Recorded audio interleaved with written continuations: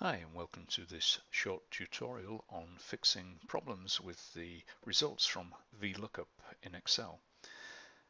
In the course of my work I find that I often have a spreadsheet in which I've got information that's been gathered from various different data sources and I've got the task of looking for values in one section of the data and displaying some of those values in another section of the data.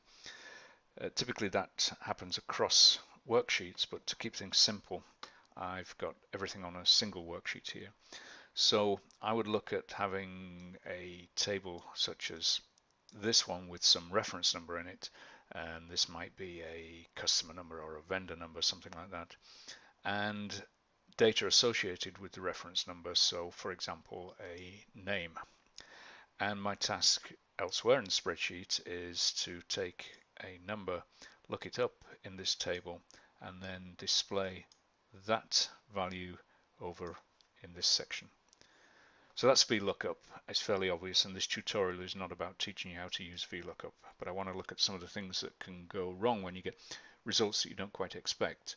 I actually tried looking some of this stuff up on YouTube myself and, and couldn't find any decent explanations, hence this video. This is how I found workarounds for these problems. So let's start by putting in the VLOOKUP. We simply want to take this value and we want to look in this table. We want to return the value from the second column and we are doing an exact match and we get the result we expect. And when I extend down, top three get hits and the bottom one, as I would expect, returns NA because 14 isn't in this list. So that all works fine, uh, except I, I've never liked the look of this value. I prefer to do something about it. So we can start by using the isNA function and you'll see that that returns a boolean value true uh, so true if it can't find it false if it does find it. So I could go with that but I, am still not too happy with that. I really would like to put some some text of my own in there. So for example the word not found. And we can do that like this. I'm going to put an if statement around the is NA I'm going to copy that. So I'm saying if is NA, so I get a value of true, then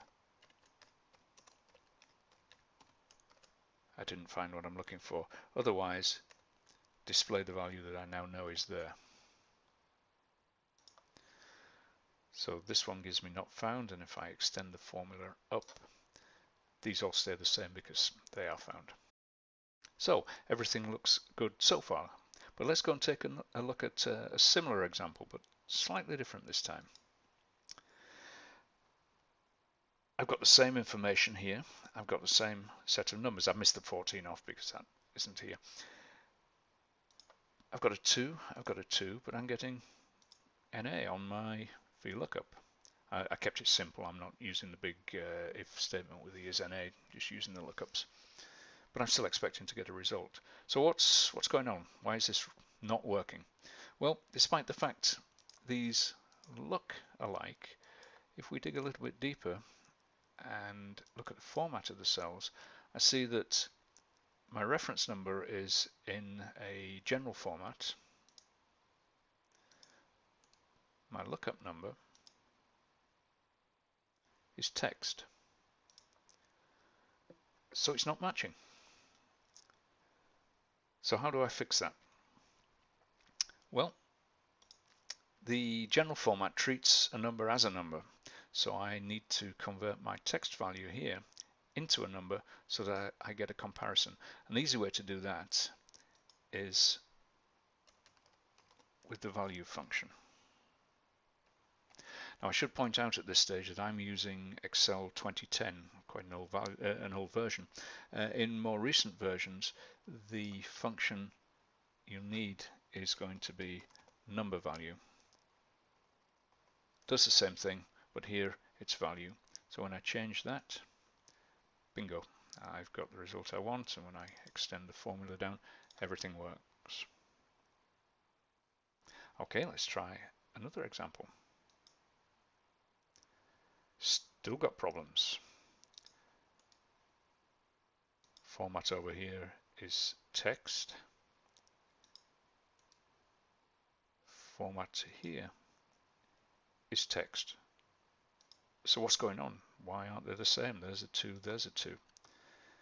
Well, I've put in an example of something that's happened to me once, and that is I've got a leading space on all of these. So I'm comparing text to text, but 2 is not equal to space 2. So I can get around that with the trim function.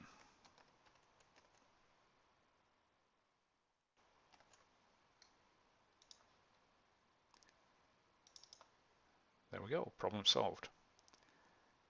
Okay, one final example to look at.